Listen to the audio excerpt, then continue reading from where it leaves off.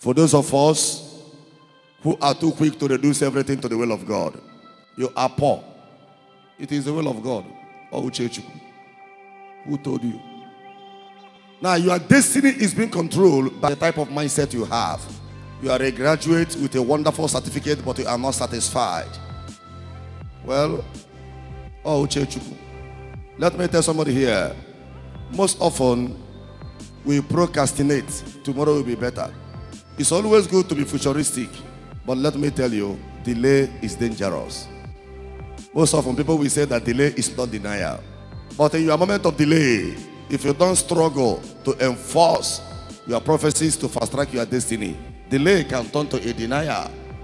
There is this Igbo adage that says, Ebe onye ọsọ gbalu, onye ije.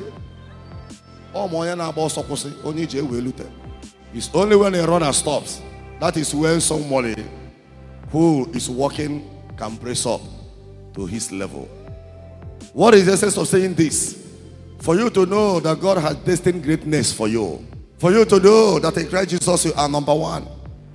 The word of God says, Colossians chapter 1 verse 13, He has delivered us from the kingdom of darkness to the kingdom of light. And in Romans 8 37, in Christ Jesus, we are more than conquerors. Hallelujah, somebody. You cannot be a great man if you don't have the mindset to assess the ultimate. You don't have the mindset of greatness. You can never be rich if you don't think towards that direction. Mr. Little, Mrs. Little, wake up. That is not where God has destiny for you. You are created to be God's number one. Think big and see big vision. Stand strong in the moment of adversity. Once the battle of your vision is involved, it is a battle that will cross you over to the other side of your destiny.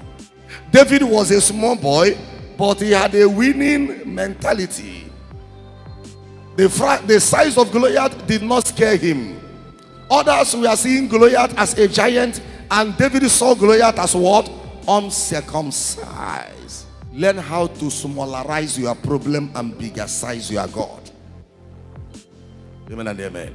Amen.